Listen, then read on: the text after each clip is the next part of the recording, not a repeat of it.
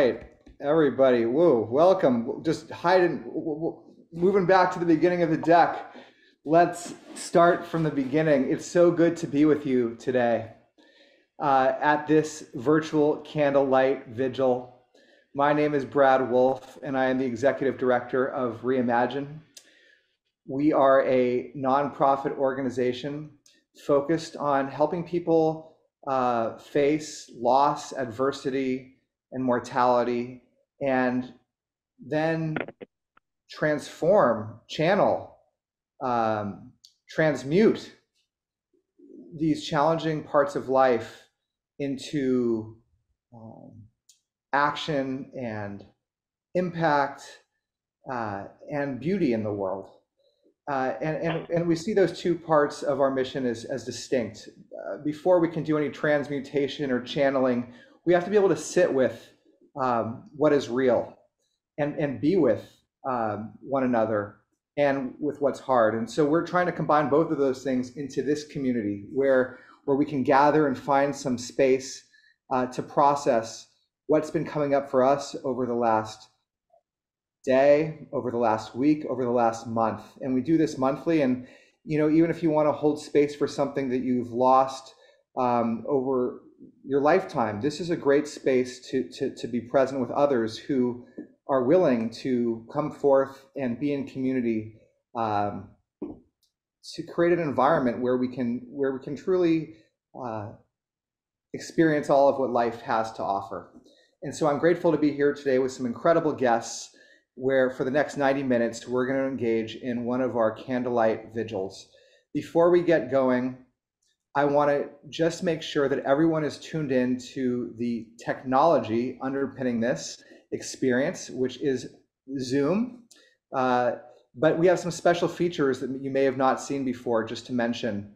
Uh, on the on the right here, we have this this button called closed captioning, the live transcript button. And for those of you who would like to uh, read along to the words that are being said and share this evening, uh, we invite you to click the live transcript button and you'll see the captions and subtitles uh, scrolling across your screen. Uh, the chat, many of you know about the chat, and I'm so glad you do, because that is our main mode of communication with all of you out there uh, in the Reimagine community today. And so I would invite you now to try out this chat feature by sharing, um, you know, what, maybe not who was bringing you here, to this vigil because we're going to have a chance later on to honor uh, the names of, of folks, but but what uh, what is bringing you into this space, and and maybe why, uh, and and also where you're calling in from. Let's just get that chat going and, and get a sense of who is out there in the community today and what's inspiring you to show up here in community uh, this evening for this this vigil. Now, also you can use the chat for any uh, technical questions you may have. And later on in the ceremony, we are going to be using the chat as our place of, of being able to honor our loved ones uh, with their names and messages. But we'll get to that uh, in a while. So for now, let's just get that chat going and introduce yourselves to one another and start creating a safe, inspired container for this conversation. Uh, okay, now we have this note here about cameras, and I'm going from right to left. But if you don't mind, you know, it's I know some of you are, are, are doing things and are, we're, we're kind of maybe feeling fatigued from the, the, the day. Uh, and that's totally okay if you want to keep your cameras off and however you show up here is how you're meant to be. Uh, but if you're willing and able to turn on your camera so we can see your faces and we can connect with one another, we're going to be doing some special exercises uh, today uh, with the group that the camera on is going to uh, pay big dividends for. And with that in mind, I want to invite you uh, in one second, if you don't have one, I'm going to grab one in my own uh, in, in one second, but to, to go grab a pen or a pencil and a piece of paper, because we do have a little exercise coming up that's going to help uh, really kind of model the space that we're trying to create for one another uh, today. So if you want to grab both a pen, uh, a pencil, and a piece of paper, and then also a candle uh, as we're going to be lighting candles and then something to light your candle with. we're about to engage in our candle lighting ceremony in literally just one minute.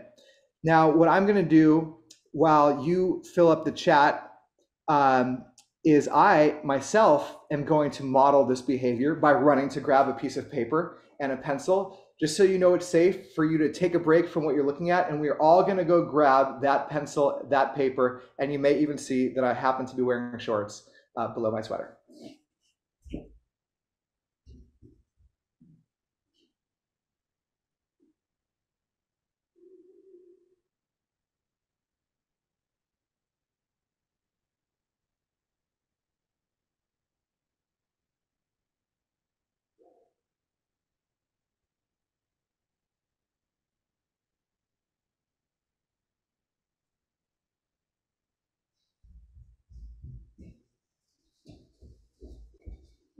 Aha.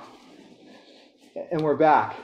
And and I, I do realize that I said I'm wearing shorts below my sweater, and I just want to make sure you understand that um, the shorts are on my lower half and not just below my sweater, um, where I am wearing a t-shirt. Uh, anyway, you could in, in creating a space like this, I, I do want to highlight that grief and loss, there are, are many emotions that are embodied and, and, and embedded therein including um, humor, uh, as well as, the, as, as, in laughter, as well as the pain and the loss and the love. Um, we like to say it's it's really more of a Jackson Pollock than it is any singular hue uh, of emotion. So, just uh, want to lead with that here as well. So, with that in mind, just a quick rundown of what we're up to this evening. Uh, so the music, I often have a guitar uh, but today I, I, am unfortunately without instrument. And so I'm playing some songs um, that, that I've written inspired by loss. You heard at the opening, and there'll be one more coming up that, that uh, haven't had a chance to share with this audience before, and you'll hear that during the honor ceremony. I want to thank my colleague Dara Cosberg uh, for the gorgeous altar that's, that sits in the center of our, our space. And then uh, we're going to be moving into the candle lighting ceremony in just a second um, and followed by a conversation with our two special guests, uh, whom I cannot wait to introduce to you. Uh, they are valued members of the Reimagine community and incredible um, leaders in, in the world through their own disciplines and domains. And you're going to be just uh, blown away by the conversation between the two of them. Uh, then we're going to move into our honor ceremony led by one of our very own community members, who, uh, Rachel, who we'll tell you more about as well. And then the three of our special guests are going to lead us in the candle extinguishing. And if there's time at the end, we will then be able to turn to questions. So if any questions come up at all during the ceremony or during the conversation, uh, type them in the chat. We'll try to get back to some of them at the end, and you may even have a chance to ask as well. All right, so with that all in mind, I want to invite uh, my wonderful colleagues, Misha, who is in, Misha, where are you this evening? I am calling in from Charlotte, North Carolina with my And three Dara, cats. where, where, where are you? Um, I'm calling in from Los Angeles. All right, fabulous. And I am in San Francisco. So across the country, we are going to lead all of you in a candle lighting ceremony. Uh, so now is the time. Let us all um, light our our respective candles.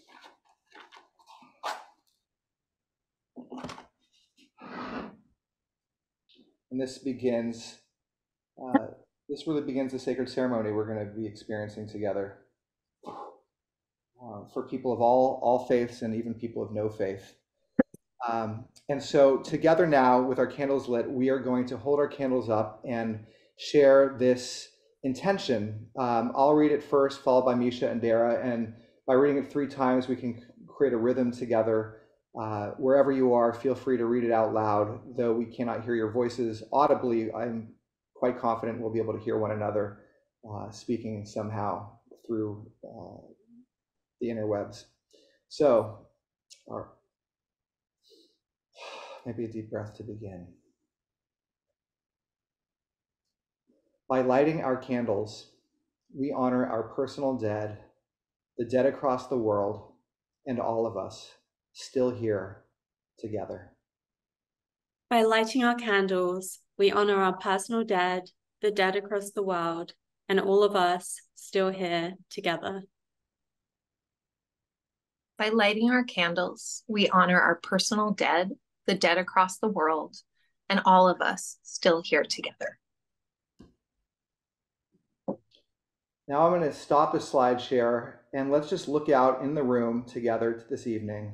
And just for one second, I'd love to, if you go into your top right on Zoom, there's a view button and you can click on gallery mode and you can look out across the faces there. And just for one second, let's just hold our candles up uh, to one another. If you have your candles lit, let's see, let's see those candles if you have one. And even if not, you can just share your bright smile across the screen or your bright eyes.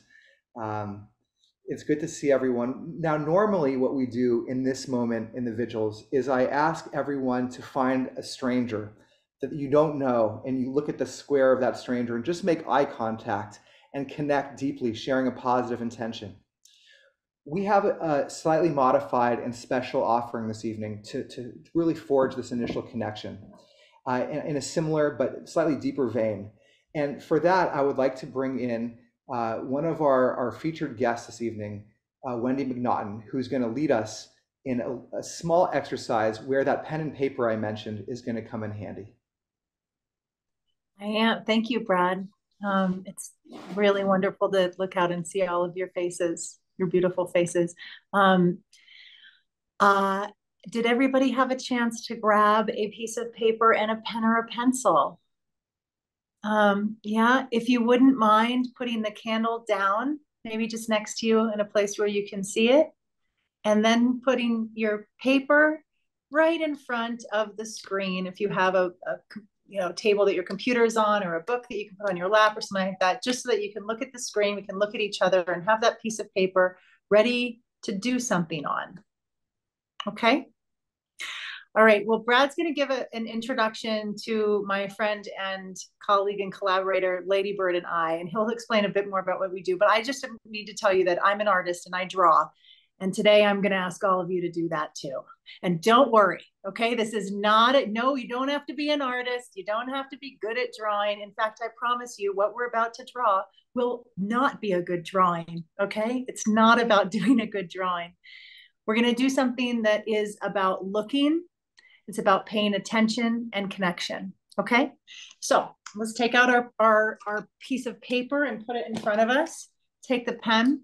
And I'd like you to get ready to draw on that paper and look up, look at the screen and choose somebody on that screen who you are going to draw for 30 seconds. We're only going to do it for 30 seconds. That's all, not long. Okay. I'm going to ask you to draw that person with two rules. Okay, remember, these are not supposed to be good drawings. First rule, you're never going to lift your pen up off the paper. Okay, one continuous line the whole time. If you're over here and you want to get over here, just draw right over. It doesn't really matter. Okay. Rule number two you're never allowed to look down at the paper upon which you are drawing ever. You're going to stay looking at the person you're drawing the entire time. Okay? Does that make sense? Andy just suggested that if you want to pin that person's face, um, if you know how to do that, you can do that. But if that's high tech and confusing, don't worry. At a distance is okay too. Okay. So, first thing, as soon as you've got your person that you've chosen, everybody's got that person. You're going to just pick a place on their face where you're going to start. It could be the inside of an eye, it could be an eyebrow. Just figure out where you're going to start. I'm going to count down from from three. And when I say go, everybody's going to start drawing. Okay, ready? Three, two. By the way, I can see you. And if you look down, I might just call you out. Don't look down. Three, two, one, go. okay, now start, just draw slowly. Just, just go slow. You're going to want to go really fast all of a sudden and kind of try and get it in, but that's not what this is about. This is just about looking really closely, and paying attention to what and who is in front of you. Notice how, like, the shape of the nose or the mouth might be a little bit different than you first expected. Try and find a detail that maybe you didn't notice when you first looked and chose the person you were going to draw. And notice, like, there's so much more than we first imagined. My gosh, we think people have you know, hair that just kind of goes a certain way, but my gosh, there's like so much of it, or maybe there's none of it, depending on who you chose. But it's always pretty interesting when you look closely. And just go slow and pay attention. Imagine your eye and your pen is connected and you're drawing with your eyes. Just keep going. We're just going to go for about another 10 seconds. If you want to take a deep breath with me as well, we're drawing, we can do that. And finish up the last little thing. Three, two, one. Okay, look down at your masterpieces, please. I would like to see how they are. Can we please do a show? Can everybody please hold up yes.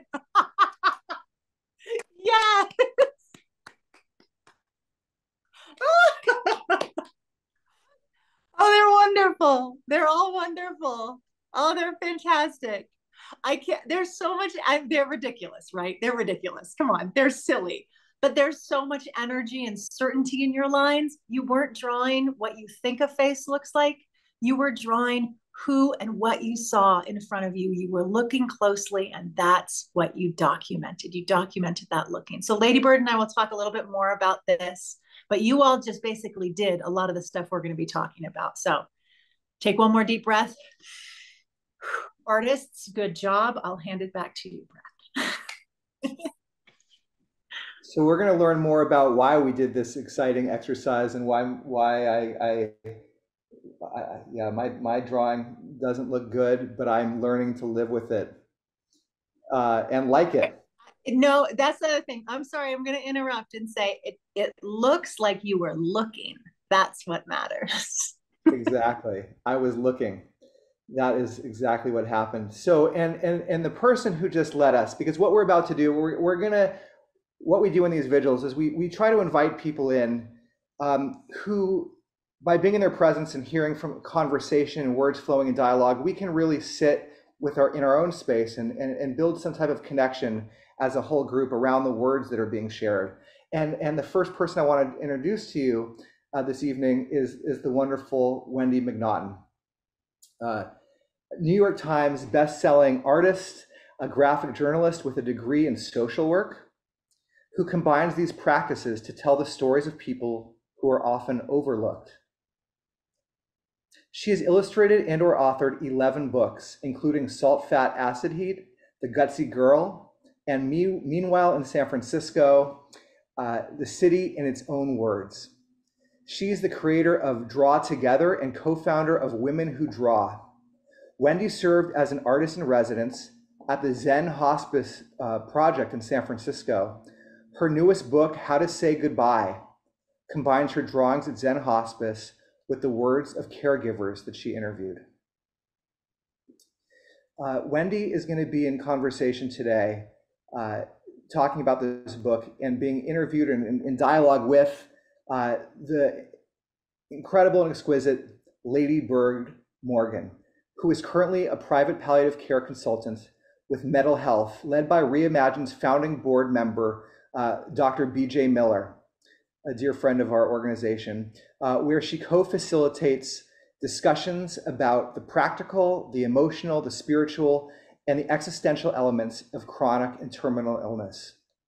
Now, both uh, Wendy and Ladybird appeared together on a reimagined panel that we hosted at the Reimagine End of Life Festival in New York back in 2018. And interesting fact, we learned that both actually went to grad school. Uh, was it together or just at the same school? Same school. Both at the same school, but then reconnected years later uh, at, at Zen Hospice in the same location. And now they are here gracing us at this vigil this evening. Welcome to both of you, and I'm so grateful you're here. We're all grateful you're here, and we we we turn it over to you I, I would love to just start off, and it's going to be between the two of you, but but because this is an honor ceremony, um, I would just want to offer you the opportunity to share who or what you would like to call forth into the space uh, to hold sacred and honor uh, in your own life if, if, if something's coming forth as, as we get going. Thank you, Brad, for that introduction and Wendy for that fantastic prelude to the evening. Um, I'm really delighted to be here. And the two beings that I are the closest on my heart right now are actually two beloved pets of uh, a friend of mine who have died this year. Um, and even though they weren't my direct pets, they were very dear and near to my life and my heart. And so, uh, Maisie Miller and Muffin Man Miller. Um, and I am holding someone who is gone and somebody who is with us. Um, and the bravery to sit with hard things and hard moments with the both of those people my grandmother, Bernice Ash, and my mother, Candy Ash. Thank you. Thanks for having us. Um, and we're so happy. I'm going to say we because Ladybird and I are actually dear friends, and um, and so I, it, Ladybird, tell me if it's safe to say this. I think we're both really happy to be here with everybody. Yeah, it's a beautiful way to to shape the the beginning of my evening because I'm on the West Coast, so the evening is, hasn't quite arrived yet, um, and I'll be entering it after this conversation and this just being in the space with everyone and seeing the faces and the drawings. I actually don't find those drawings silly at all. I find them quite remarkably beautiful, little Picassos of of stepping out of our thinking minds for a minute, which um, which actually I as we were experiencing this, I realized it's how I try to think about grief, which is thinking having grief as an experience, a living experience versus what I think grief should be, where I should be with grief, or where somebody should be with grief, or what you're supposed to do or not do. The difference between, yeah, experiencing it, which is what mm-hmm. Brad, you said that about experiencing this moment in time of drawing someone, and all of your emotions get to participate in that. Then you're not sort of partitioning things off, like, oh, I'm grieving, so I'm not allowed to draw, or I'm drawing, so I'm not allowed to grieve as though um, there's one or the other. So Wendy, I don't know. There's a million. We I know we always want to ask you, but and, what and I've thinking about, yeah, I, what I want to ask you first though is really just is about this piece of of grief and drawing and creativity and grief. And if there have been ways in your life where you didn't know that they were connected you know in my in the work that i do in the way that i see the world nothing is disconnected. We are constantly forgetting that and we're frequently imagining that we're disconnected from things. But we're um, not so. I think i i'm just going to point out what's going to become really obvious to everybody on this call is that ladybird is going to articulate in the most beautiful ways all of the all the things that i'm going to try and stumble and get around be like yeah what ladybird just said. Um uh you know we we met at Zen Hospice when I was there finishing up the artist in residency program, and I think you were had you were coming in for a short period of time um, as a nurse then, um, and I was there drawing people, residents, family members, and caregivers. Uh, I didn't know what was going to happen with those drawings in the moment, but I entered that experience with the intention um, of sitting with people and sitting with um, some fears that I had um, around being present with when people were dying. Um, I had experienced fear in my own family, and I, you know, didn't know what to do and didn't know what to say, and all these things, and lost somebody um, very close to me. And it was a really profound experience. So when this opportunity came up to um, enter into the Zen hospice space, it felt like a, you know, the universe was doing its thing. Um, and drawing for me is a way, it's not about, drawing isn't about making a good picture. It's not about making a, a piece that necessarily hangs on a wall or even goes in a book. Drawing is a process by which I, and I think anybody, all of you here today, this evening, um, are able to slow down, to look closely and pay attention to things, places, and people that we might often either ignore or overlook or just rush past and make assumptions about um, and start to look closely and then truly start to see who is in front of us and that's the intention that i brought in um, to zen hospice and that i bring into all of my work um, with with drawing. And i do think that it's a powerful tool we can all use. It's also a creative tool um, especially when we're in like a a challenging moment, whether it be a moment of grief or depression or lethargy or just a challenging moment, creativity, making something, um, whether that be drawing or cooking or anything, can be such a um, revelatory kind of experience where we become like more open um, and are able to be in our senses and in our bodies when those those experiences kind of take us our feelings can take us out of them. We're able to get back into it. So i i think that in the 30 seconds that we just did you might get like the teeniest taste of it um, but as a as a practice drawing and other creative acts i think can help us um, connect with people in that way i don't know if that's answers what you were asking it does. i mean it, it's that piece of connection that we that we forget about you know when we're in a at least for my from my experience and the for the people that i've supported grief can feel like this very heavy wave that you're not even able to breathe through it and it's hard to find the shore it's hard to find another living being even though you know they're out there. And it sometimes just takes it takes for me it takes the uh, remembering that i am a living being that there's a, an aesthetic to living. So sometimes i'll you know encourage someone to smell an orange.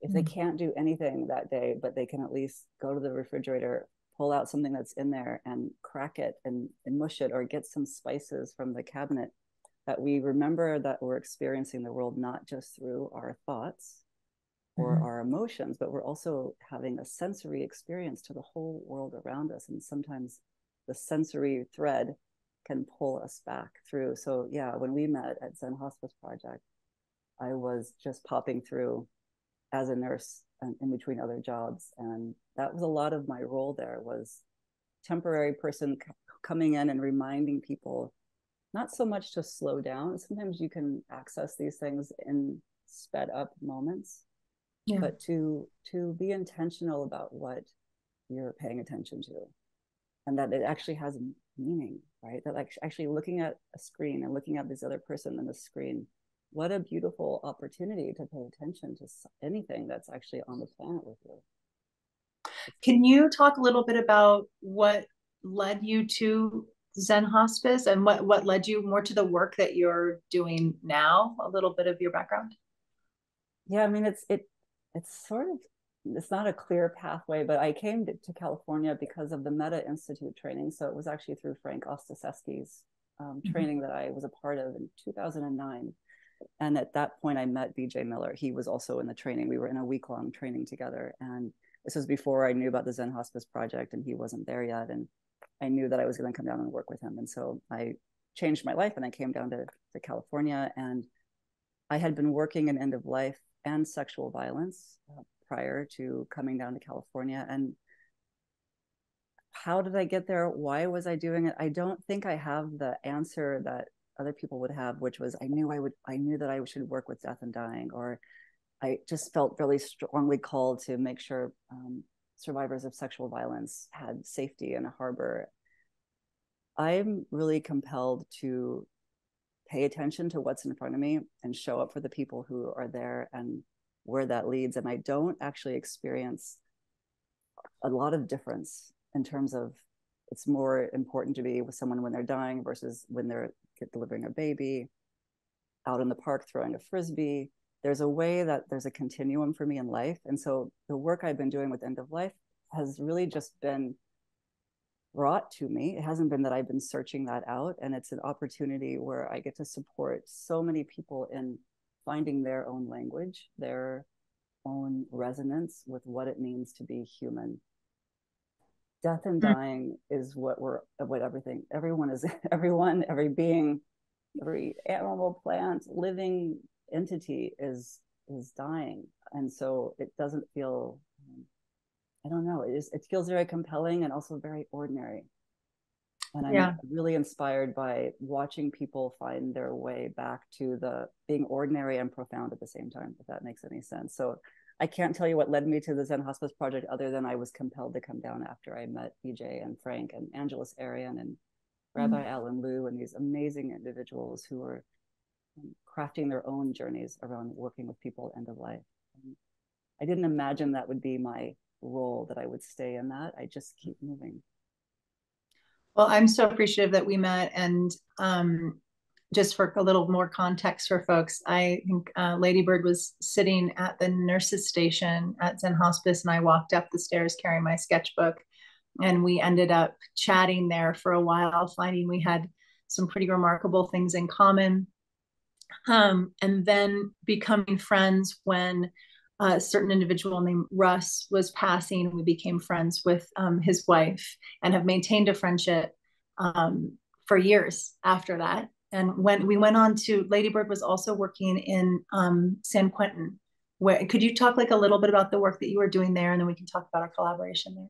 Yeah, I will. I mean, so at San Quentin, I was invited to co-host a group of men who were being trained to be peer support for each other, and they had requested the training to be able to show up for each other when there was a suicide or a possible suicide, and included that included people at end of life and they developed this training with some women from the Bay Area Women Against Rape, BAWAR, and they were trained as sexual assault um, providers. And they asked for this end of life training. And so I was welcomed in with some of my other colleagues, and we were training them around end of life, bringing in some of the folks from Zen Hospice Project, actually.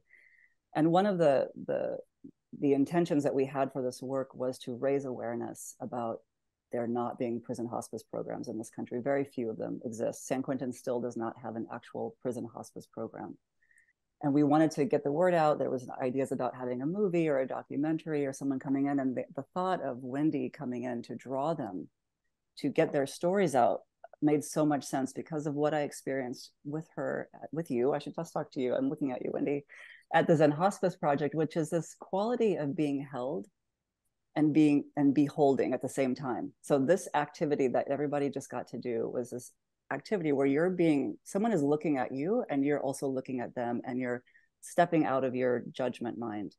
It's a remarkable place to be in. And the men inside San Quentin at that time don't usually get to experience that. They're very much on one end of the spectrum or another. People come in and are giving something to them or offering something to them, maybe even taking something from them this was an experience where they got to share their stories in a way that was very honoring. It, it, feels very honoring. And so I invited Wendy to come in to help articulate that story, to get the word out in the world about how what how these men are processing grief, how they sit with each other at end of life or don't sit with each other at end of life. And it was a beautiful partnering. And I'm so glad that Oh, I I feel lucky that I got to also witness you doing the the training that you were doing um, with the men who were there and it is an interesting experience to take it back to what you all um, what you all did with your drawing. One thing i didn't mention and it's less obvious when we're over zoom and we have a screen between us but if we were in the same room and we were facing each other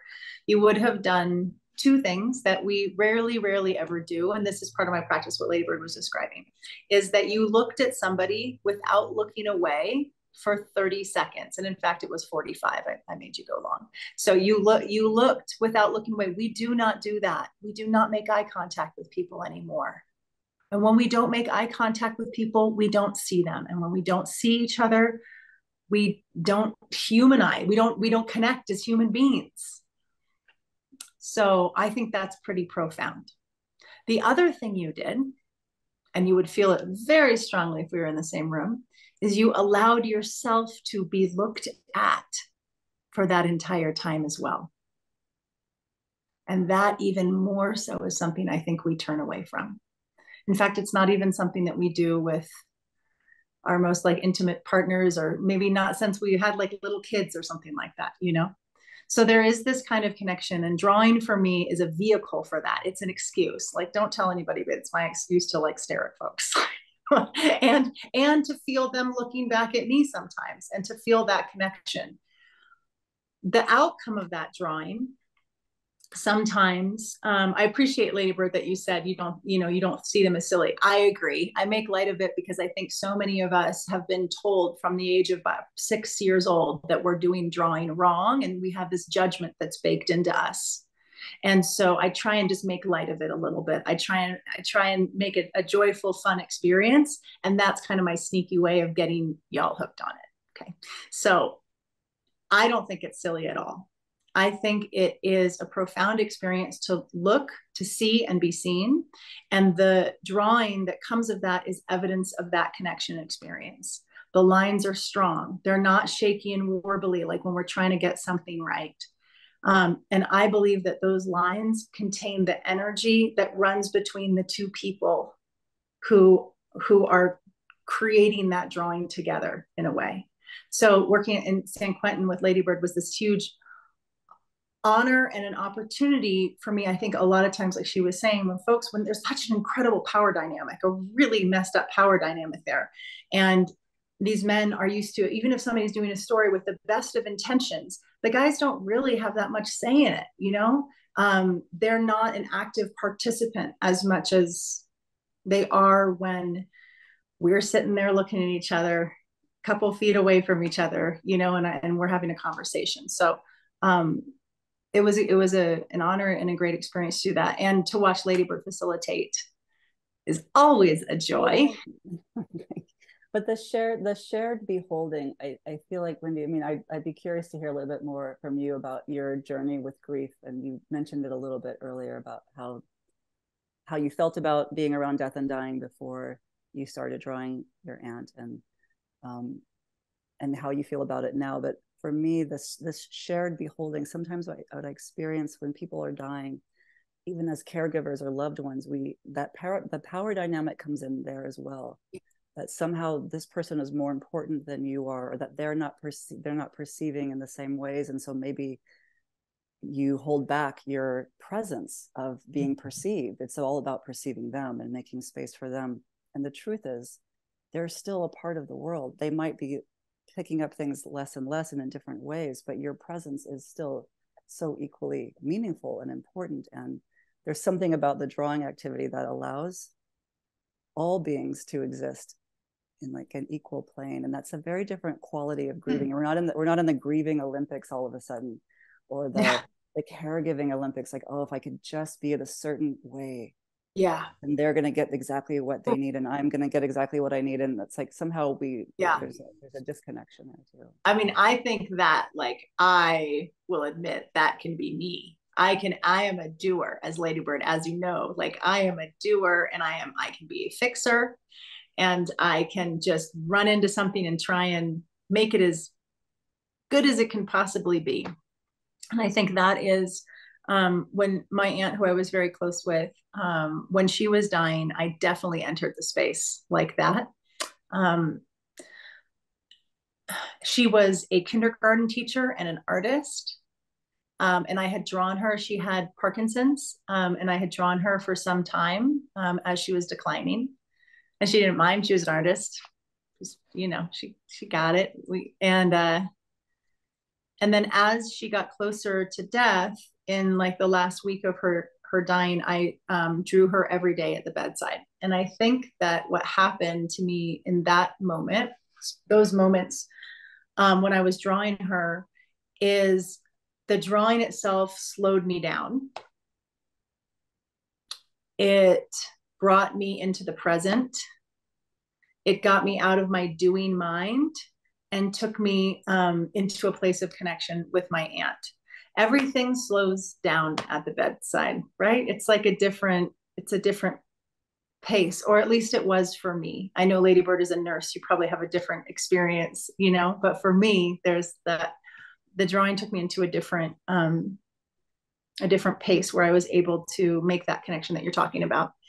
Um, and after that like i said before it was really just the day after my aunt passed um, that i got a call from zen hospice offering this opportunity. And like i said the universe sometimes offers things and it would be pretty silly to to to say no. Um, in this book there this is a book that brad mentioned before. Um, there are drawings of my aunt um, and those are done with pencil. Usually i draw with pen and then I paint with watercolor later. But for some reason with her, there's a softness to pencil that felt right. And even though the lines are strong, I don't know, I still feel my aunt in them. Mm. So, uh, and I've, I've drawn in a lot of challenging situations for sure. Um, I was thinking about this. We talked about this earlier related to your question, Ladybird. And one of the most challenging situations I've ever drawn in was I w- went to Guantanamo Bay for for um, the New York Times, And I was present in the courtroom for one week. And two things were incredibly challenging. One was that I was told that I was not allowed to make eye contact with the people who were on the other side of the glass. And that made it pretty much impossible for me to really do what I consider my job, which is connect with humans and draw them no matter who they are, no matter what the circumstance, you know? So to have that literal kind of wall between us was a huge challenge. Um, the other challenge related to your question about grief mm, is how powerful the act of being drawn can be. There was a couple people there who whose families died um, in 9/11 in the World Trade Center, and they were there witnessing the trial, and they felt like I talked to them for a while and they felt like they they were wearing pins that had um, pictures of their loved one who had passed. And it was very clear that they had a story that they wanted to share and they wanted to memorialize um, their their i think it was his brother um, and i spent time talking with them and then eventually i drew them and i drew the pins that they were wearing uh, and they were very proud of having that experience of having the interview and, and then i sent them the drawings later and they sent me um, pictures of them framed and it meant so much to me that they felt like i think when we're when we're drawn or rather let me phrase that when we feel seen mm. it makes such a huge difference and so many of us don't get the chance to feel seen and don't get the chance to feel heard and i feel really lucky to have um, that opportunity. That's so yeah. beautiful, Wendy. Thank you for sharing that. Yeah, I don't talk. I don't talk about that stuff very much. well, it's not. This is this is just it. We don't always talk about these the seeds of what actually inspires us to to be who we are and how we are, and that. I mean, the book is so beautiful, and and saying the five things, and um, you know, similar. I was realizing that it's similar to the Ho'oponopono prayer, which is four things, but I love you. Please forgive me. I forgive you. Thank you. Goodbye. And oh yeah, should we tell people all of that? Well, we should, but what what I want to say is like in all of those things, what. I tend to hear is, did they know that I loved them? Do they know? Did I know that I was loved by them? Like that, the the connection between two beings, and the uh-huh. expression of love, and trusting that they felt your love, knowing that you felt their love, and then of course then the, those connections where it's very clear and beautiful just honoring that you missed that connection right but right. so often there's a concern that they didn't know how much i loved them or did i take the time to feel all of their love right i was busy doing all of these things. And um, there's something beautiful about the drawing. Again i'm going to i'm going to keep going back to the drawing because it's such a beautiful way to to just step out of the cognitive brain enough to be like that you're just with someone. You know but presence is enough. I, when and when you're talking about that what that brings up for me is um, so in in this book how to say goodbye um, a gentleman named roy remer uh, told me about these five things that i uh, as he explained it to me have um, moved across many cultures for a long time of things that we can say to people um, so that nothing is left unsaid. Say them at the end of life. And it's, I forgive you. Please forgive me. Thank you. I love you and goodbye. And those are in this book, coupled with um, the drawings of my aunt. Um, this is Toby, who I was talking about. And I love her very much. I think about like the experience I was just describing about the seeing and connecting with these folks who uh, lost their brother and and how important that is. And then i think about making this book and then how hard it is for me now with these five things to think about okay maybe i should think about saying these things to people that i love in my life right now you know? Um, there are things that we can say at the end of life. There are also things that we can share after somebody has passed or today um, as an opportunity for for that connection yeah, I agree. Yeah. Remembering the afterlife piece that we can still, at least for me, I, I have that strong desire to keep communicating with beings that I love that are no longer with me, whether they visit me in dreams or I Mm. ask them to visit me in dreams or I just talk to them when I'm taking a walk, that those threads of connections and gratitude and love are things that are continue to be cultivated, you know, in in different ways that, that they're living, that they're living. Um, Yeah. connection is living that's i guess the, the thing that i like to think about with, with so with grief again another living entity that you're engaging with right it's not something that um, is outside of you and so you get to just find your relationship to it which is a which is an honor and a gift and a really different way of, of experiencing grief. Again not mastering it or hurdling it or you know there's such a desire in the culture right now. I find you know to get a handle of it, everything like okay you know now we're all learning about being doulas and which is lovely and it's wonderful to have so much support but we can also be at bedsides with no doula training and you know we know how to show up we know how to love we know how to to um to to be i guess it's the simplest I think deep you you do Ladybird. Here's what I i don't say. that it's easy i want to say Okay. you do too you do too wendy it's not it's again deep it's in not a- there. It's deep. I think that um, my socializing and a lot of our socializing has put all of these layers over it, you know, of all of that doing and the fixing and the Mm. expectations and how we're supposed to be and how, what is, and to stay away from the big feelings of grief, right? Mhm. To actually push push those away and keep ourselves busy or whatever we have to do. Yeah. Is how I mean, you have you have sat with, been with, worked with so many different people who come at this experience, whether it be the loss of a loved one or or any of the experiences that you created, what you've been involved in, where um, people are experiencing grief. How how are you able to? Um, I don't even. I want to say be present, but I know that that's a not the not the best word for it. Well, how would you explain it? Um, to hold space for whatever is coming up for somebody, including pushing away. I cry a lot. I I I, I think that is my number one go-to. not always with the person that I'm with and not always in the moment that it's happening, but I cry a lot. I I feel very deeply. You know, we were on a conversation a while ago and um, somebody said, "Oh, this work that you're doing, you know, it's not very easy." It's like, well, that isn't.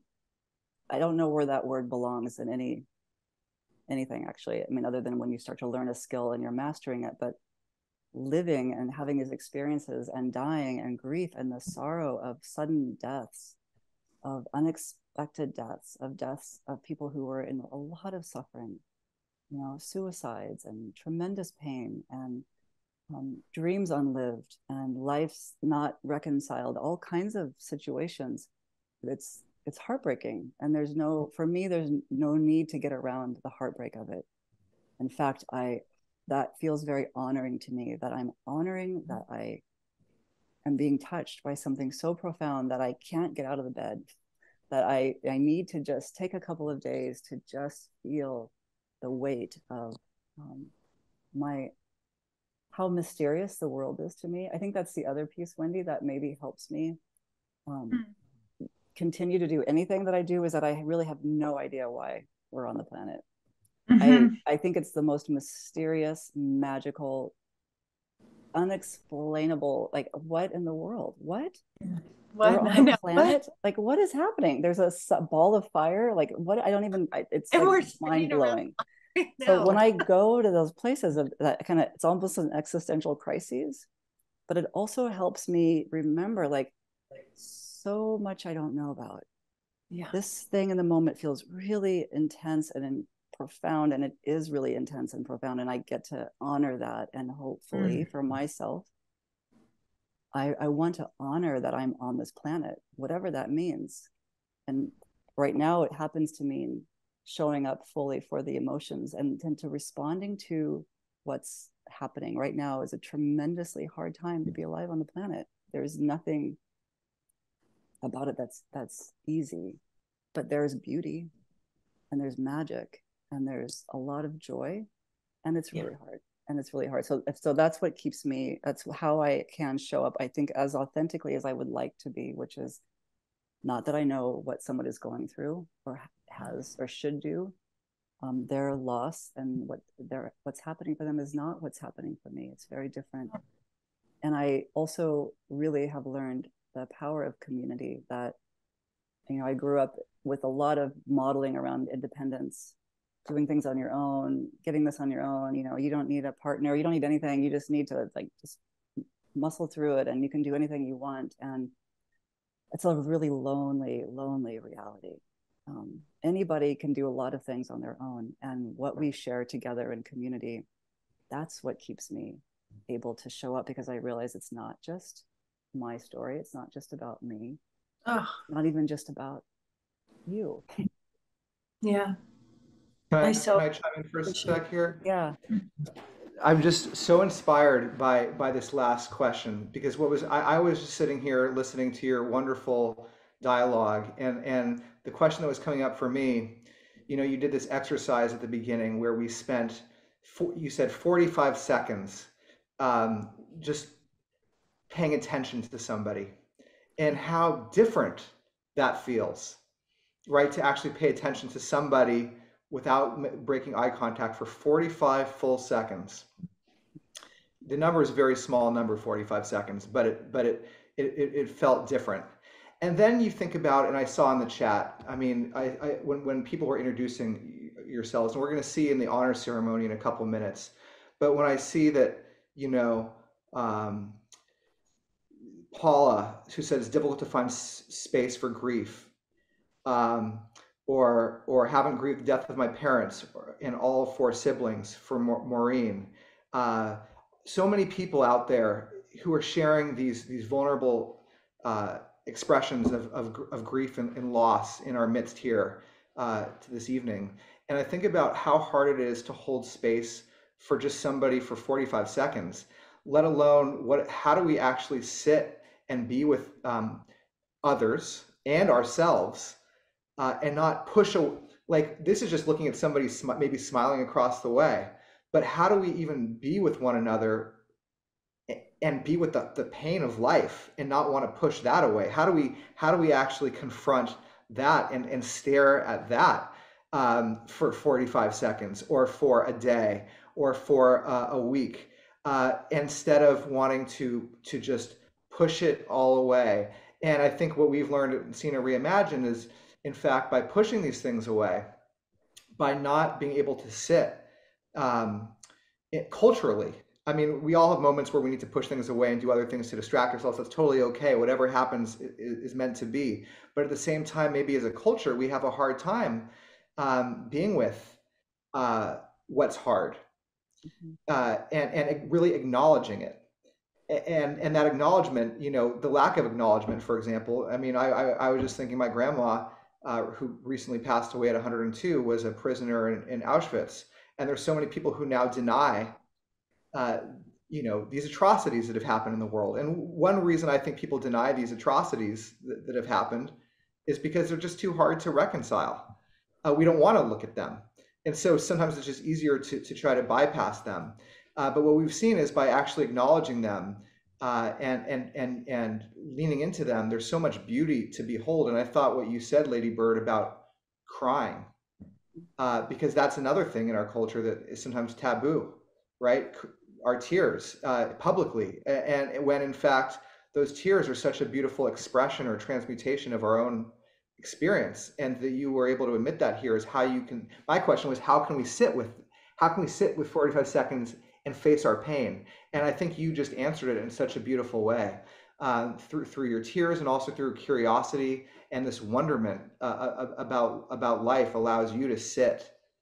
Um, Yeah, and maybe Brad, I, I would also offer that that this notion of again, it has a kind of like a mastery thing of like we've got to sit with it, we got to face it head on. Like, what if you know if there was a dog that was really out on the streets and needed to come home, you wouldn't like grab it and say, "Get over here and sit down." You would welcome it towards you, mm, right? And so sometimes when we're feeling that things are just too hard, we can lean in as opposed to facing head on, right? mm, allow grief i allow grief to wrap around me grief grief is relating to me as much as i'm relating to it right? That's why I say that this living entity.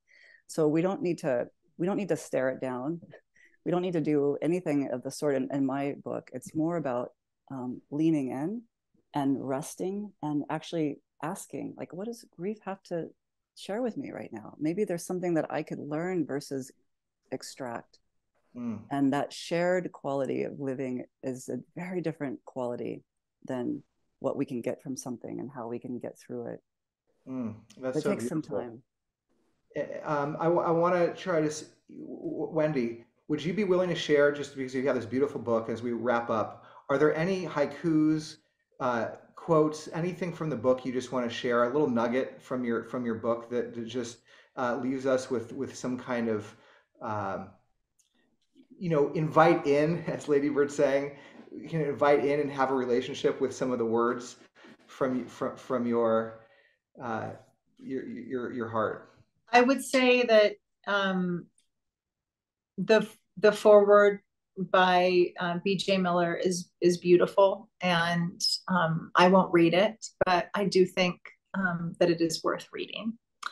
Um, and also, just to Ladybird's point, and because um, we spoke earlier about Russ and his wife Anne, and that's how we met. And just to what Ladybird was saying, I'll just show one picture. Um, uh, that has one single line um, that I think speaks to this. And this is Russ, and that is Anne. Um, and that's Bill Russ's brother. Um, and the words are simply, but you can't actually do anything. Right? It's um, it's very courageous to sit with someone while they're dying, but you can't actually do anything. It's easy to say, okay, here's what I want to do, here's how I want it to go but you can't fix this. You are not in charge. The person dying is in charge. And that is my Aunt Tilby. Mm. Thank you so much for sharing that quote, um, and that that does speak to so so so nicely uh, to what Ladybird was just sharing. Now, to, to to to round out this conversation, and maybe just one sentence, it's just a forced constraint out of which creativity can blossom. Um, uh, maybe one sentence each. I'll give you two prompts. First prompt: What has death taught you about life? Ladybird.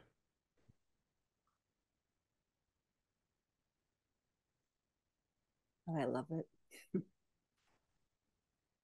that I love it. Sorry, you couldn't hear me. Oh, I, I heard it. It was be- Yeah. it was it was the perfect re- it was a perfect response.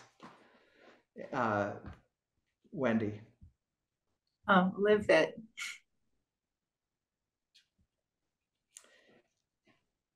I'm just soaking in those those those those one sentence uh, responses. That is that is that is beautiful. And and then I guess the last question is, what is cre- what is creativity? Oh, come on, Brooke. Yeah, what's that? Maybe that's your answer. I don't is know. creativity.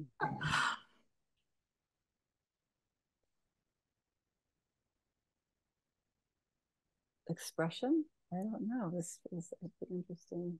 I mean, you realize there's entire sections of libraries dedicated to Yes. this, right? But we'll take a crack. um, I would eh, say it's an opportunity for connection, expression, wonder, and awe.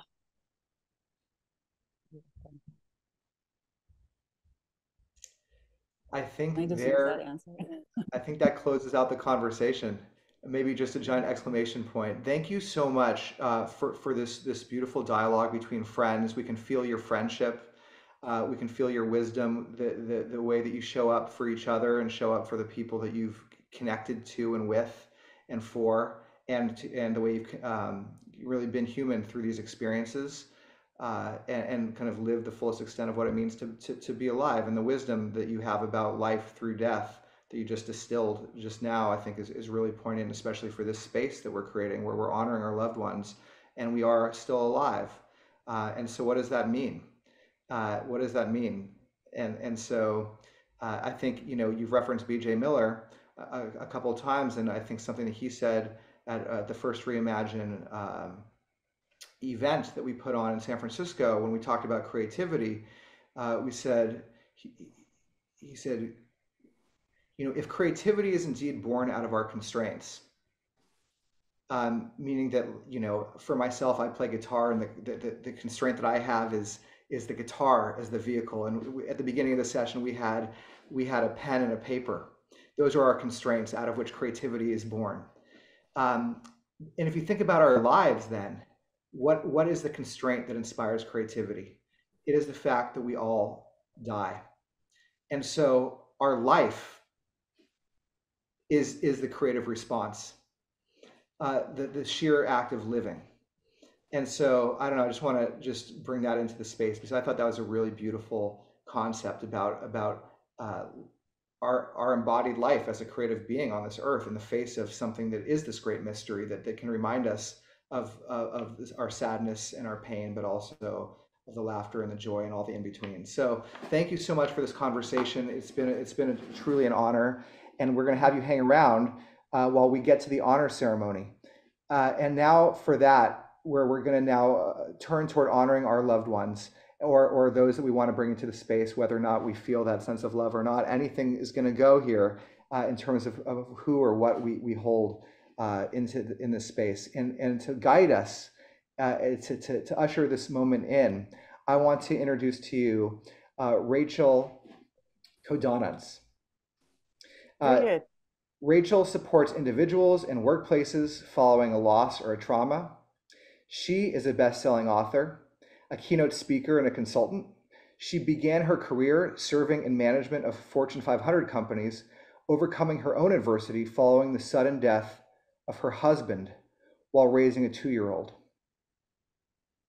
Since 2021, she has been hosting gatherings and discussions as a reimagined community collaborator. She has two events, in fact, taking place this month uh, that you should check out. One on the art of managing possessions uh, after loss, or maybe not just after loss, but I would assume that, yeah. And, and, and the other, an open conversation about embracing your loss um, while maintaining a quote, normal routine. What does it mean uh, to, to, to have a normal routine while embracing loss? So, for more information about those two events, um, is going to be posting some information in the chat. We, we really uh, want you to check those out and attend if you're available. But, but for now, Rachel, I want to welcome you into this space to, to get us set for the ceremony. Well, thank you very much. And I'm honored to be here and I'm honored to be a part of Reimagine. And I was introduced to them in 2021 and it's been um, a great partnership, I believe. So I want to thank you for that.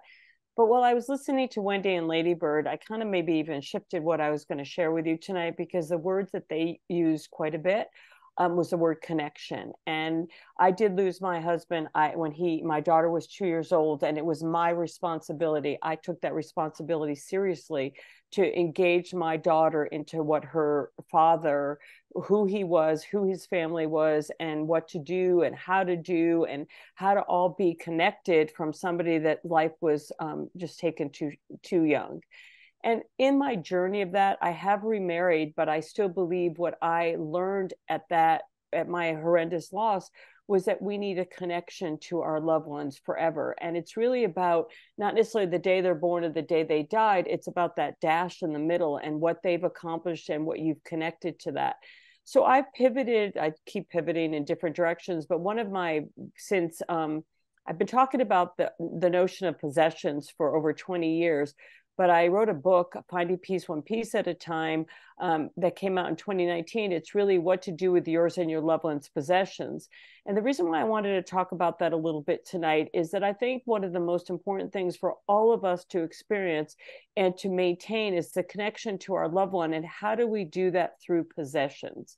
Because possessions to me are something that we can either touch so there's a feeling to it or the possession is something that we see and it triggers thoughts and emotions and connections and love and memories and just all those um, feelings that you have around someone that you've lost. And like many of you that were talking earlier i believe in it, it whatever your loss is whether it is somebody that's an untimely death which are really hard or it's our 103 year old grandmother or parent all those deaths to me are the same, including pets, because we don't, our relationship with our loved one is our relationship. And it doesn't matter who they are or what their title is and whether a friend or a family member. And when I want to talk for a second um, in my short time that I have with you is about the possessions and how do you decide what to keep and what you do with them. Many of us are familiar with the concept that we're just going to have a memorial or we're going to create some kind of memorial. And it could be in the form of a place to go, something to do, or we, Wendy talks so much about creativity and creating a space that's around art around our loved ones or there's just feelings that you have and what you what you would what how you want to have that connection and with my late husband rod i created a box i call it the rod box and i put a lot of different things in there that were i'll call it not worthy of the trash recycle or donating and i can open that box and i could smell him i could feel him i can touch him whether you want to question whether or not i could do that go for it but for me I feel that connection. I feel those memories. I feel all of that. And I want to share a story with you that is a form of a connection, but it's of, of a pro of an item like a, a possession. But when I didn't realize I did this, that when my daughter, when my husband passed away, my daughter was two. I ran around telling everybody, oh my goodness, who's going to walk her down the aisle? And people would say to me, Rachel, you are a recent widow. You have a really big job and you're worried about who's going to walk her down the aisle. Let me remind you, she's two years old. And I didn't realize that I said that so much. I didn't understand what people were talking about behind my back, so to speak, about how I was in that spot. And the reason why I chose to tell the story is because you all have a spot. And maybe we can work through that spot well, fast forward 2020, right in the middle of the pandemic, um, my daughter ha- got married, and I, as I said, I have remarried, and my my I call him my living husband. My living husband adopted her, so she is her natural father, and she is an adopted father. And in the morning of the wedding, my daughter, her name is Gretchen, handed me something that I want to share it with you. She had her wedding shoes these are her wedding shoes that she walked down the aisle with. And I should probably move the straps for you. She had painted on the back my late husband's name. And what she told me was both my dads will walk me down the aisle. I'm sharing this with you, as I said earlier, because you have your story, you have your idea, you have i saw all your faces when we were drawing i saw all your faces when you were introducing and typing into the chat room. You all have a story. You all have somebody that you want to share that story with as we go forward. And that will give me the opportunity to lead into what we're going to do next. I would love for you to take a minute we're going to take more than a minute and add the name of your loved one to the chat room. As we talked earlier and, and brad said bringing the, what, what brought you here today i'm going to take that a little further. I'm going to ask you to write the person's type the person's name that you're here for possibly a connection and maybe not necessarily type in but think about while you're typing and while we're going to have this little ceremony think about what your connection forever is this person your person and how can you continue to share their life and their story with future generations. So if you'll take a minute and put your name into the chat room, we'll take a moment of silence and I will tell you my name that I'm gonna and why I'm here today. I'm here for my late husband, Rod. I've had a lot of other losses in my life. That to me is the one that I carry so deeply. Um, you know, I've lost my mom and so many other people, but I carry that because it came with a responsibility and as a survivor of a loss like that, I was the one that was to keep his memory and who he is alive. And I would love for you to kind of consider that as you write your name. I'm honored to be with you tonight, and I'm honored to be with your people that you've lost.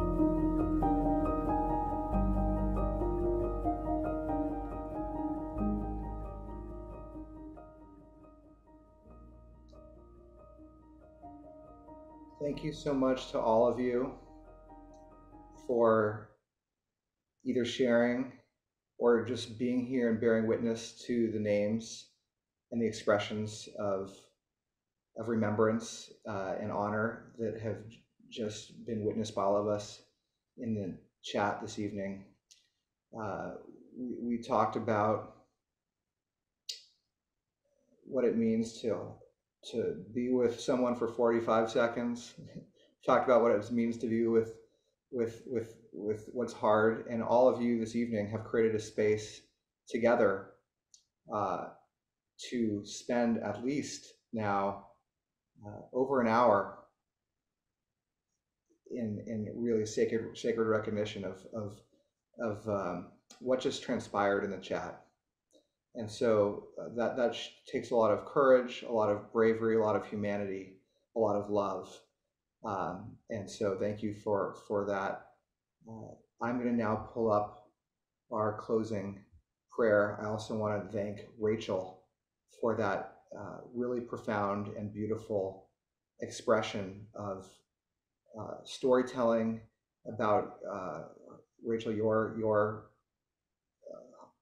your husband, your daughter, your life, and um, just what it means to to love. And it was just very, very beautiful, and I think set the perfect stage for this this uh, latest interaction that we just all all participated in. So thank you so much. Here now, I would like to call back to the floor the, our three honored guests this evening, Rachel, Wendy, and Ladybird, who will guide us in extinguishing our candles. Uh, now, I want to let you know that we're, we're going to read this blessing three times, and at the upon upon the final uh, repetition, I will count down to, uh, from three to, to, to one, and we can all simultaneously uh, blow out our candles. Uh, but if you choose to keep your candle lit for whatever reason, don't feel any pressure to have to blow out your candle if you have one. You can let it burn out naturally, or whenever you like, you can extinguish it. Um, and also, if you don't have a candle and you still want to participate, I would invite you, if interested, and just take a deep breath with us and, and release that uh, breath into the world as, as a, a, symbol of your shared intention with us to, to release um, this love and light into the world. Uh, whatever comes up for you, that's, that's what's right. Maybe before we begin this, should we just take one deep breath as a community, uh, given just what we all, all just did together?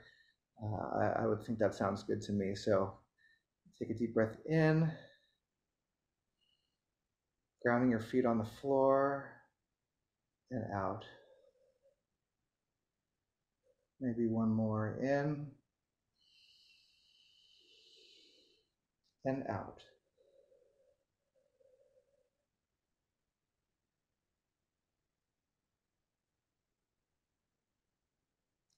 Now I turn it over to Rachel. And wherever you are, feel free to read along with us. By extinguishing our candles, we release light into our world to keep alive the memories of those we honor today and tomorrow and the rest of our lives. By extinguishing our candles, we release light into our world to keep alive the memories of those we honor today and tomorrow and for the rest of our lives. By extinguishing our candles, we release light into our world to keep alive the memories of those we honor today and tomorrow and for the rest of our lives. Now, on the count of three, three, two, one.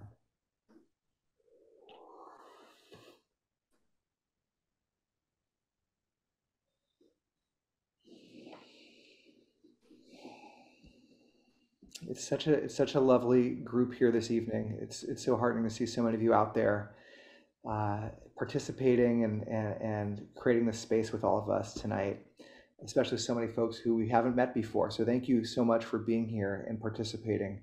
Uh, I want to now bring forward my colleague Andy Engel, who is a senior programmer at Reimagine and helped uh, make this experience possible by arranging uh, and inviting these amazing featured presenters this evening who have really held this space for all of us in such a, a, beautiful way. Andy, thank you so much for for your work uh, with Reimagine and and putting together these vigils. And I love it if you wouldn't mind sharing a little bit about some of the programs that we have upcoming. Sure thing. So we have our next monthly COVID grief gathering on September 12th. This is a welcoming drop in space for all those experiencing the specific losses associated with the pandemic. Our guest facilitator is Michelle Thornhill, and these take place on the second Tuesday of the month. Uh, so um, join us for that. Uh, we have another grief gathering called Room for Grief on September 21st. Our Reimagine collaborator Magda Sengwan Peng will facilitate uh, this session. It takes place every third Thursday of the month. We hold space for those mourning all kinds of loss using art, creativity, and prompts. And we had a hiatus with the past and present series with Allison Gilbert, but it is back this fall. I'm very excited. Um, Allison Gilbert, who is an author and journalist, uh, returns on September 28th with a three part series focused on self care before and after loss. So join us for that. And we have a new thematic series that kicks off next Wednesday. It's called Aging is Grief, Aging is Growth. Like death and dying, aging is another aspect of life that Western culture just that just can't seem to face. Um, don't get me wrong, there are real adversities associated with aging. I'm starting to make those noises when you get up and when you sit down. Um, uh, and there are so few spaces to acknowledge and mourn those losses associated with aging. And at the same time, uh, there are aspects of getting older that are, in fact, gifts that we should be recognizing and acknowledging um, and that should be shared with loved ones, communities, and workplaces. Um, so we'll have guidance from healers, artists, social entrepreneurs, activists. We'll gain tools and inspiration to view aging not only as an, an inevitable challenge, but also as a source of newfound strength, vitality, and wonder. Uh, I hope you'll join us. You can register using the link. Um, uh, an amazing lineup of individuals. So please come. And our next vigil on October 4th will feature advanced style fashion icons Ari Seth Cohen and Judith Boyd. Uh, you may be familiar with the Advanced Style blog or the documentary film. Rachel, it was so apropos that you brought up those shoes. Um, uh, you might be surprised to learn that dressing fabulously at any age is a way to process loss and to honor our loved ones. So register for that. Thanks. Wow, that sounds amazing, Andy. I, I'm definitely interested in this in this in this vigil and want to learn more about this fabulous uh, attire that you you speak of. Um, wish these photos sure, sure, sure, shared a little more. Uh, but yeah, I can't wait for that next vigil. If it's anything like this one, it's going to be a, a, a, powerful experience, although it sounds different, but equally um, powerful. Thanks again, Andy. I want to uh, call back just a, uh, um, a thank you to special thanks to Ladybird and Wendy, and also really to Rachel. Um, uh, but but uh, oh, I guess I see there's an old poem on the right, but I, I want to share this poem that I, I, in the midst of the conversation between Ladybird and Wendy, I was just um, reflecting on your relationship and what brought you, uh, what connected you together, your, your studies, then meeting at, at Zen Hospice, and thinking about death as a, as something that brings us all together, really, uh, in life, um, and and thinking about my own experiences in the in the you know walking in the forest and, and noticing uh, now more than ever, which I hadn't noticed before I started doing more of this work, how much death there is in a forest, and and how, uh, but yet how much life there is, and I just hadn't really looked down uh, to see to see and notice that connection. And so, just a poem, uh, five lines, fifteen syllables. Uh, what connects us? This is to, to two of you. Death affects us, and death connects us it brought you and us here uh, in so many ways. So, so thank you so much. And then really to all of you, whoever Ashley is, I don't know who Ashley is, but, but Ashley, thank you. Uh, and, and Reimagine staff and all of you and, and Rachel, but, uh, and, and, also, you know, I want to acknowledge Andy, not just you, um, but Misha, uh, who's behind the scenes today, and Dara, who built the beautiful altar uh, for this, this, uh, this hour or 90 minutes rather. And then is there anyone else, that, or the whole Reimagine staff really, Zubin, if you're here, um, thank you so much for, for setting these up. Uh, thank you. Every month, these vigils, every month, sad but glad, to mourn, grieve, grow, and love together. So that is the end of our official program this evening. I'm, I want to push stop share so I can get back to, to see you. Let me see if this thing is stopping at the share. Can you hear me still? Or am I frozen?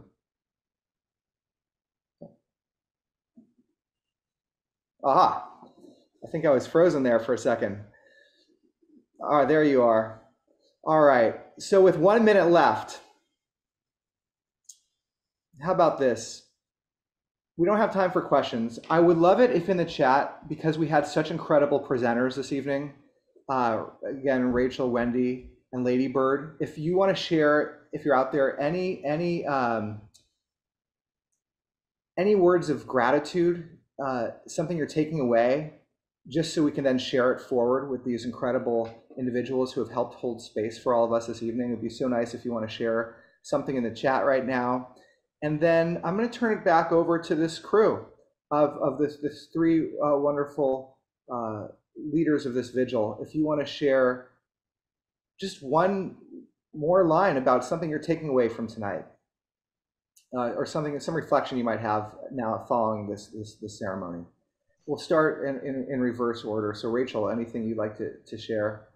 I would. Um, first of all, I want to thank everybody for joining us tonight. I know that we have um, many options of what to do with our time. And I want to thank you all for coming here. And although I didn't get to hear all your stories, but you just being here and reading through chat, the chat, I do appreciate you sharing the stories. I wish I had all of you when I had my loss, but it's just amazing the community that is brought together. And I want to graciously thank Reimagine for creating a platform that brought us all together. I hope to see you at my programs this month. I have two on the 20th and the 26th. Um, I'm just gonna, sorry. Is that okay? Can I just go? I'm just gonna, I'm just gonna point to a couple of things that, that Ladybird said and Rachel just made mention of also. This, this beautiful community that's here. I think a lot of times we feel really isolated when we're in our hardest, biggest feelings. Comes with that is a feeling of being alone. And so it means so much to be in community with all of you here and know that we are sharing everything we felt and everything we'll feel and everything we feel right now together. It means the world. So thank you. Yeah, I think I'll just share also a deep gratitude of just choosing to be here this evening and the um, the curiosity that led you here. I think that's certainly what led me to Wendy and keeps me around in her pocket. So um, curiosity has something to do with grief that it's pretty there's a good they're good together. All right. Well, thank you so much for all being here. And I think, you know, before we leave, I, I think it would be so nice to hear everybody's voice in the space, if, if at least once. Uh, so, a cacophony of sound. You know, uh, we've learned at these vigils that most singing, as you know, sounds horrible on Zoom. We can't get one happy birthday out for our team uh, without it slowing down to some kind of train wreck speed. But there is one thing that sounds good on Zoom. It turns out it's when we all collectively just say the word love uh, as many times or singing it as loud as we want or just saying it out loud uh, in unison. It actually sounds amazing. So why don't we just unmute everyone and at count of three, we can all just say goodbye, um, getting our voice in the space just with the word love and we can go off into our own lives, remembering that we have this community. Uh, we, we thank you so much for being here with Reimagine. We are a nonprofit organization. We need your support through the end of the year, allowing us to create free programs like this all of our work really is, is free of charge, so please support us um, and stay in touch. We're about to release a whole platform we've been working on as a team to unlock creativity in the face of what's hard in life. And with that, love to you. Unmute. Three, two, one. Love. love. love. love.